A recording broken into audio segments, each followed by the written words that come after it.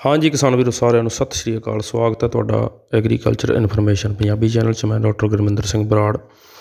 ਇਸ ਵੀਡੀਓ 'ਚ ਕਿਸਾਨ ਵੀਰੋ, ਤੁਹਾਡੇ ਨਾਲ ਜਾਣਕਾਰੀ ਸਾਂਝੀ ਕਰਾਂਗੇ ਕਣਕ ਦੇ ਬੀਜ ਦੀ ਡੰਗਾਈ ਦਾ ਝਾੜ ਤੇ ਵੀ ਅਸਰ ਪੈ ਸਕਦਾ ਹੈ। ਆਮ ਤੌਰ ਤੇ ਆਪਾਂ ਸੋਚਦੇ ਕਿ ਬੀਜ ਬੀਜ ਤਾਂ ਉੱਗ ਪਿਆ, ਬਸ ਠੀਕ ਹੈ, ਪਰ ਬੀਜ ਘੱਟ ਡੂੰਘਾ ਬੀਜਿਆ ਤਾਂ ਉਹਦਾ ਆਪਾਂ ਨੂੰ ਅਸਰ ਦਿਸ ਸਕਦਾ ਪਰ ਜ਼ਿਆਦਾ ਡੂੰਘੇ ਬੀਜ ਦਾ ਅਸਰ, ਜੇ ਕਣਕ ਉੱਗ ਪੈਂਦੀ ਹੈ ਤਾਂ ਫਿਰ ਆਪਾਂ ਨੂੰ ਝਾੜ 'ਤੇ ਜਾ ਕੇ ਪਤਾ ਲੱਗਦਾ ਜੇ ਕੋਈ ਨਵੇਂ ਕਿਸਾਨ ਵੀਰ ਜੁੜੇ ਉਹਨਾਂ ਨੂੰ ਬੇਨਤੀ ਹੈ ਕਿ ਚੈਨਲ ਸਬਸਕ੍ਰਾਈਬ ਕਰਕੇ ਬੈਲ ਵਾਲਾ ਬਟਨ ਦਬ ਲਓ ਜੇ ਫੇਸਬੁੱਕ ਪੇਜ ਤੇ ਦੇ ਰਹੇ ਤਾਂ ਪੇਜ ਫੋਲੋ ਕਰ ਸਕਦੇ ਆ।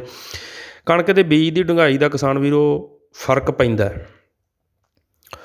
ਪਹਿਲਾਂ ਤਾਂ ਆਪਾਂ ਨੂੰ ਇਹ ਸਮਝਣਾ ਚਾਹੀਦਾ ਕਿ ਜਿਹੜਾ ਬੀਜ ਆਪਾਂ ਬੀਜਣਾ ਹੈ, ਉਹਦੇ ਵਿੱਚ ਜਿਹੜੀ એનર્ਜੀ ਤੇ ਮਟੀਰੀਅਲ ਸਟੋਰ ਹੁੰਦਾ ਹੈ, ਭੋਜਨ ਸਟੋਰ ਹੁੰਦਾ ਹੈ, ਜਿਹੜੇ ਵਿੱਚੋਂ ਬੀਜ ਨੇ ਪੁੰਗਰਨਾ ਉਹਦਾ ਜਿਹੜੀ ਕੁਰੰਬਲ ਨਿਕਲਣੀ ਹੈ ਕੁਝ ਟਾਈਮ ਲਈ ਜਿਹੜਾ ਹੈਗਾ ਉਹਨੂੰ ਭੋਜਨ ਬੀਜ ਦਿੰਦਾ ਜਿਹੜਾ ਉਹਦੇ ਵਿੱਚ ਸਟੋਰ ਹੁੰਦਾ ਫਿਰ ਉਹ ਜਿਹੜੀ ਹੈਗੀ ਉਦੋਂ ਬਾਅਦ ਉਹਦੀਆਂ ਜੜਾਂ ਡਿਵੈਲਪ ਹੁੰਦੀਆਂ ਨੇ, ਫਿਰ ਉਹ ਜੜਾਂ ਜ਼ਮੀਨ 'ਚ ਲਾ ਕੇ ਤੇ ਫਿਰ ਉਹ ਭੋਜਨ ਆਪਦਾ ਉਹਨੇ ਚਿਰ ਦੇ ਵਿੱਚ ਉਹ ਜ਼ਮੀਨ 'ਚੋਂ ਬਾਹਰ ਆ ਜਾਂਦਾ ਬਾਹਰੋਂ ਸੂਰਜ ਦੀ ਰੋਸ਼ਨੀ ਦੀ ਮੌਜੂਦਗੀ ਵਿੱਚ ਫਿਰ ਆਪਣਾ ਉਹ ਭੋਜਨ ਬਣਾਉਣ ਲੱਗ ਪੈਂਦਾ ਤੇ ਜੜਾਂ ਰਾਹੀਂ ਆਪਦਾ ਪਾਣੀ ਤੇ ਭੋਜਨ ਪਦਾ, ਜਿਹੜੇ ਤੱਤ ਹੈਗੇ ਉਹ ਜ਼ਮੀਨ 'ਚੋਂ ਲੈਣ ਲੱਗ ਪੈਂਦਾ ਜਦੋਂ ਆਪਾਂ ਬੀਜ ਬੀਜਦੇ ਹਾਂ, ਉਹਨੂੰ ਉੱਗਣ ਵਾਸਤੇ ਆਕਸੀਜਨ ਅਤੇ ਮੋਇਸਚਰ ਦੀ ਜ਼ਰੂਰਤ ਹੁੰਦੀ ਹੈ। ਉਹ ਪਾਣੀ ਅਤੇ ਹਵਾ ਦੀ ਮੌਜੂਦਗੀ ਦੇ ਵਿੱਚ ਪਹਿਲਾਂ ਉਹ ਭੁੰਗਰਦਾ ਜਿਹਨੂੰ ਆਪਾਂ ਜਰਮੀਨੇਸ਼ਨ ਕਹਿ ਦਿੰਦੇ ਹਾਂ। ਫਿਰ ਉਹ ਜਿਹੜਾ ਬੀਜ ਉਹ ਵੱਧਦਾ ਹੈ, ਜਿਹੜੀ ਤੂਈ ਆਪਾਂ ਕਹਿੰਦੇ ਕੋਲੀਓਪਟਾਈਲ, ਜਿਹੜੀ ਤੂਈ ਆਪਾਂ ਕਹਿ ਦਿੰਦੇ ਕਿ ਉਹ ਜ਼ਮੀਨ ਚੋਂ ਬਾਹਰ ਆਉਂਦੀ ਹੌਲੀ ਹੌਲੀ ਵੱਧਦਾ ਉਹ।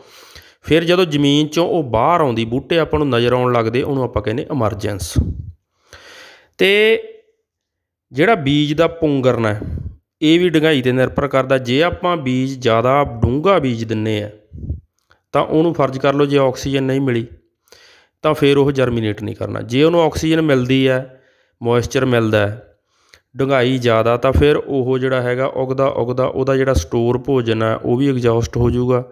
ਨਿਕਲਦਾ ਨਿਕਲਦੀ ਜਿਹੜੀ ਕਰੁੰਬਲ ਹੈ ਉਹ ਪੀਲੀ ਪੈ ਜੂਗੀ, ਬੂਟਾ ਜਿਹੜਾ ਹੈਗਾ, ਜਾਂ ਤਾਂ ਉਹ ਨਿਕਲਦਾ ਨਿਕਲਦਾ ਮਰ ਜੂਗਾ, ਜਾਂ ਉਹ ਕਮਜ਼ੋਰ ਪੈ ਜੂਗਾ। ਜਿਹਨੂੰ ਆਪਾਂ ਕਹਿ ਦਈਏ ਬੌਂਦਲ ਜੇ ਜਾਊਗਾ।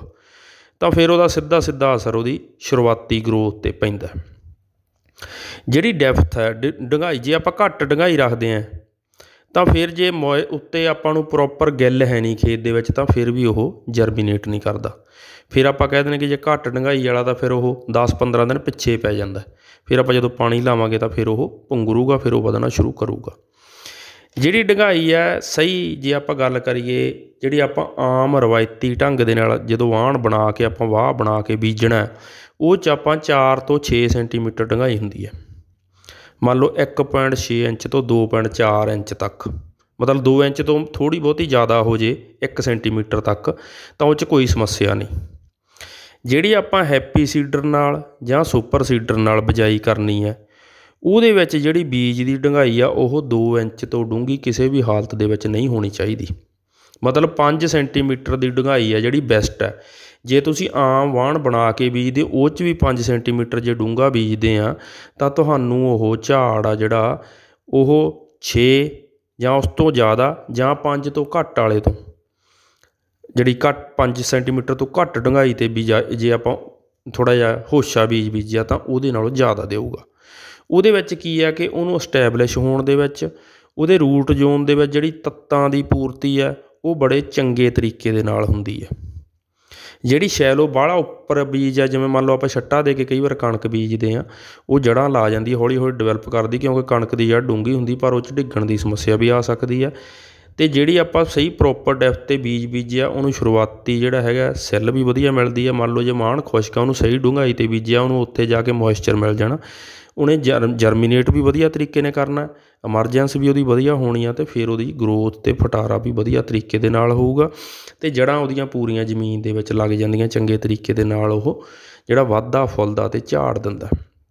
ਇਹ ਜਿਹੜੀ ਰਿਸਰਚ ਆਲ ਇੰਡੀਆ 'ਚ, ਆਲ ਵਰਲਡ ਜਿਹੜੀਆਂ ਰਿਸਰਚਾਂ ਹੋਈਆਂ ਨੇ, ਉਹ 'ਚ ਬੈਸਟ ਡੰਗਾਈ ਹੈ ਜਿਹੜੀ ਉਹ 5 ਸੈਂਟੀਮੀਟਰ ਮੰਨੀ ਗਈ। 5 ਸੈਂਟੀਮੀਟਰ ਤੇ ਜੇ ਆਪਾਂ ਬੀਜ, ਬੀਜਦੇ ਆ ਉਹਦਾ ਸਭ ਤੋਂ ਵਧੀਆ ਝਾੜ ਲੈਂ, ਰਹਿੰਦਾ ਜੇ ਆਪਾਂ ਆਮ ਰਵਾਇਤੀ ਢੰਗ ਨਾਲ ਜਾਂ ਸੁਪਰ ਸੀਡਰ, ਹੈਪੀ ਸੀਡਰ ਨਾਲ, ਕਈ ਵਾਰ ਆਪਾਂ ਦੋ ਤਰਫਾ ਬੀਜ ਬੀਜਦੇ ਆ ਵੀ ਅੱਧਾ ਬੀਜ ਉਧਰ ਨੂੰ, ਅੱਧਾ ਉਧਰ ਨੂੰ।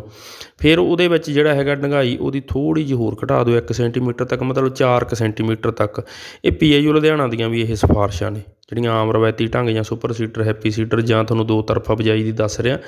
ਤੇ ਉਹਦੇ ਵਿੱਚ ਤੁਸੀਂ 4 ਸੈਂਟੀਮੀਟਰ ਰੱਖ ਸਕਦੇ ਆ ਦੋ ਤਰਫਾ ਬਿਜਾਈ 'ਚ। ਬਾਕੀ ਆਪਾਂ 5 ਸੈਂਟੀਮੀਟਰ ਦਾ ਸਭ ਤੋਂ ਵਧੀਆ ਝਾੜ ਰਹਿੰਦਾ ਕਿਸਾਨ ਵੀਰੋ। 5 ਸੈਂਟੀਮੀਟਰ ਤੇ ਆਪਾਂ ਬੀਜ ਬੀਜੀਏ, ਵਧੀਆ ਝਾੜ ਰਹੀਏ, ਨਾ ਜ਼ਿਆਦਾ ਡੂੰਘਾ ਤੇ ਨਾ ਘੱਟ ਨਗਾਈ ਤੇ। ਤੁਹਾਡਾ ਬਹੁਤ ਬਹੁਤ ਧੰਨਵਾਦ, ਸ਼ੁਕਰੀਆ। ਮਿਹਰਬਾਨੀ ਕਿਸਾਨ ਦੋਸਤ ਬਹੁਤ ਬਹੁਤ ਸ਼ੁਕਰੀਆ।